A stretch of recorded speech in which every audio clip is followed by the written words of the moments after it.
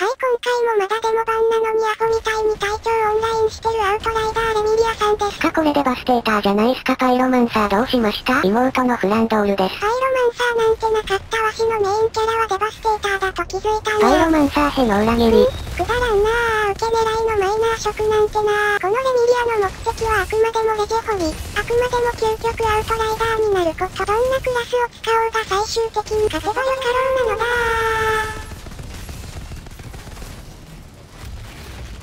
そういうことでね、サブキャラにデバステーター作ったらヌルゲーなったんでこっちメインに使うかも報告でした。レジェンダリ出てますね。レジェンダリ出てました。ドロップしてるの見えてなくて死んでから気づいたパターンマジ。で崩落の隊長マラソンはこういうのあっからな動画勢はやりにくいんよねただ今回もゴーレムの足は出ず。しかしこれは巷でなかなかに強いと噂のアサルトライフル、サンダーバードさんじゃないの。固有モジュールのストームウィップ X が、攻撃した敵に雷落として追加ダメージ与えるんで、シンプルながら高火力で使いやすいレジェンダリーですね。見た目もドラゴンっぽくて光っててかっこよくて偏差値高そうでかっこいいよ。最高に偏差値低そうなコメントじゃあ。早速使ってるとこみんなに見して露骨に食稼ぎしようぜ。思ってても口に出して言わない方がいいことってあるよそのね。言わんなってドーンするのめちゃめちゃ今デバステのスキルの感想委員でサンダーバードに対するリアクション見せてください。なんかすげえ打ってると雷落ちるね。なんかすげえ、雷落ちるから。なんかいちいち、雷落ちるんであの。多分強いやつかな。多分ね。語彙力。じゃ、もうあの、映像の方切り替えてもらって。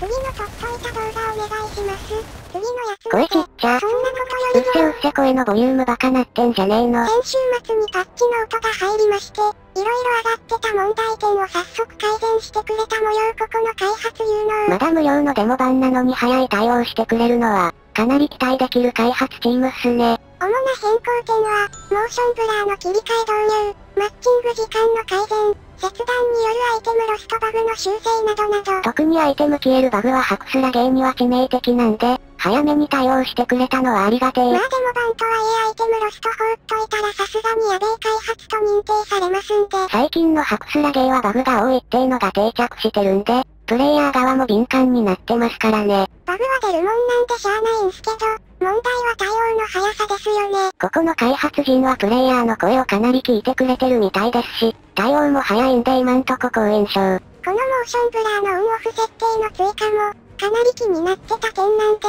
迅速な対応は嬉しいじゃないの。このモーションブラーっていうのは、キャラが走る時に画面の端がぼやけるエフェクトで、疾走感は出るものの、画面酔いしやすく、周りも見にくくなるんで、アクションシューティングゲームではプレイしにくい印象。このゲームを初めてプレイした時、なんか画面見にくいなって思った人は多いんじゃないすかね。その原因が、このモーションブラーによる画面のぼやけ効果なんすよね。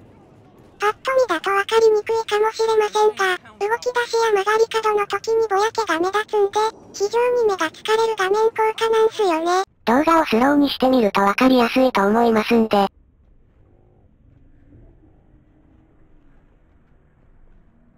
ブラーがないと画面が常にはっきり見えてるのがわかりますね。静止画をコマ送りしてる感じで、キャラが揺れても常に視界が見やすい印象。でこちらが従来のブラー効果あり。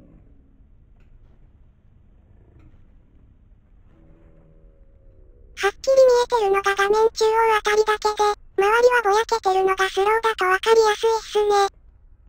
特にキャラの動きが速いゲームなんで、ブラーがあると 3D 用意しやすいので、モーションブラーはオフにするのをおすすめ。とモーションブラーの話は解決したんで、もう一つの大きな問題、マッチングが改善したのかを検証してみましょう。やっぱ野良でマッチできるかっていうのは、ハクスラゲーではかなり重要なファクターですから。特にわしのようなぼっちプレイヤーには生きるか死ぬるかの大問題ですから。まあフレンドとやるって人でも、こういう周回ゲーっていうのは何度も繰り返すことなりますんで、野良でもマッチできるとかなり効率違ってきますんで、以前はわしもこのランダムマッチング試みたんすが、5分経っても一向にマッチしないんで諦めてたんすけどね。パッチ入ってっからはマッチングしやすくなったらしいんで、今回はいけるでしょ。ちなみに今回クロスプレイを有効にしてますんで、プレステ勢ともマッチします。まあ心配なのはマルチプレイでどのくらいラグがあるかってとこっすね。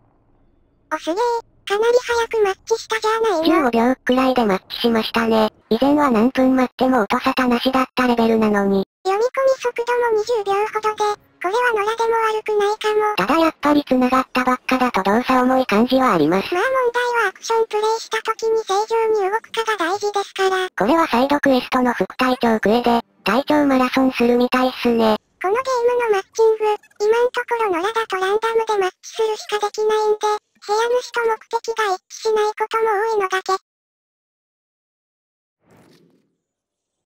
接続切れたんですけど、こういうのも多々あるんで、マッチング機能はかなり不安あるゲームな印象。その後もマッチした途端に回線切れたり、マッチしたけど部屋主が棒立ちだったりと、なかなかマルチプレイできないイライラが続く。このゲーム、マッチをオープンにしていてもなかなか人が入ってこないんで、部屋主が離席してることがあっても致し方ないんで、気にせずパーティー離れて次を探しましょう。わしも部屋主なってみたけど全く人来なかったです。そしてついにゲームプレイ中の部屋主とマッチング成功やっとマルチプレイできるぜ。今回の部屋主はレベル6のワールドペア5なんで、一緒にプレイするには最適。ランダムマッチだとレベル2のスタート地点からの部屋主とマッチもしますんで、まだ体験版ってのもありますけど、野良だと実質ランダムしかマッチ方法ないのは心配っすね。トリマエモートで部屋主さんへ挨実拶。際挨拶は大事故時期にもそう書かれている。このゲーム、PC プレイでもチャット機能がないので、意思疎通はエモートでしかできないんよね。この辺も野良マッチでは不便な点。まあ野良だと基本集会になると思うんで、部屋主についていけばいいと思います。自分のやりたいクエストじゃないなら部屋から抜ければいいだけですんで。ともかく実際の戦闘がスムーズにできるかを確かめたい。ちなみにこのゲームのマルチは1パーティー3人まで。パーティー人数が多いほど敵も強くなり、ドロップ品も良くなります。うん、ちょっとラグい感じありますね。特にエフェクトの派手なスキル使うと、画面固まるのが気になるところ。マッチングしやすくなった分、海外勢ともマッチしやすくなったせいですかね。部屋主さんも時々瞬間移動して見えるこ。の辺は製品版でもうちょいなんとかならんかなとは思う。デバステーターだと特にグラビティジャンプ使うと。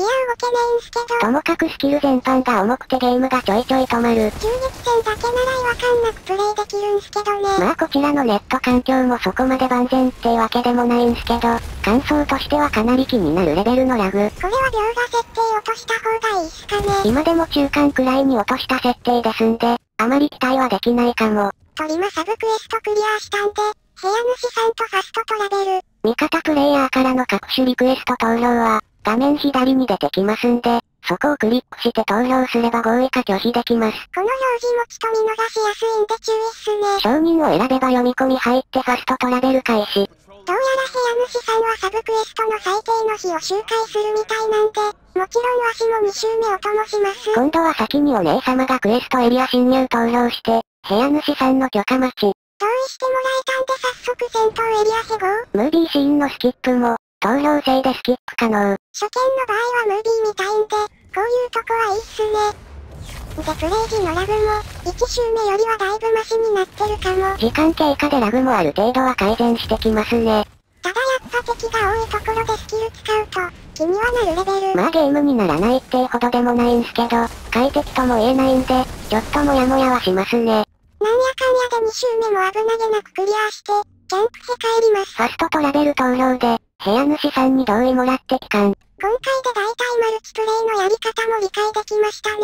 ただのラマッチがいまいち使いづらい印象も強いところ。野良でもマッチ条件を色々指定できた方が、スムーズなマルチプレイできるんすけどね特にレベルカンストしてるのに、初期プレイヤーの部屋に放り込まれるのが多いのはかなりめんどい。ランダムマッチもあっていいとは思いますが、もっと近いレベル、近いワールドペア、目的のミッションが同じプレイヤーとマッチできるシステムを作ってほしいところ。この辺のマッチングシステムは製品版に期待ですね。つうことでわしそろそろ抜けますので部屋主さんありでした。挨拶と手を振るエモートくらいは準備しといた方がいいかもエモ。ートすると右上に動作説明が出るんで、パーティー抜ける意思表示代わりになりますんで、パーティーを抜ける場合は、ゲームメニュー画面を開いて、右上のパーティーを離れるを選択すれば OK。パーティーを離脱するとロビー画面に移動するんで、そこからまた他のパーティー探すなり、ソロプレイするなりご自由に。といったことでね、確かに野良でもパーティーはかなり組みやすくはなりましたね。ただマルチプレイだとラグも目立つことが多いです。この辺はあんまマルチに力入れてないのかもなんで、しゃあないかな。ただマッチングはランダムだけではなく、いろいろ条件設定を指定できるようにしてほしいっすね。まだデモ版なんで、製品版になればマッチングのシステムも変わってるかもですけどね。ともかくデモ版ながらアプデで迅速に改善されてるのは、非常にいい開発、運営ですんで頑張ってほしい。マッチング周りもさらにアップデートされるとありがたい。ということでバイバイ。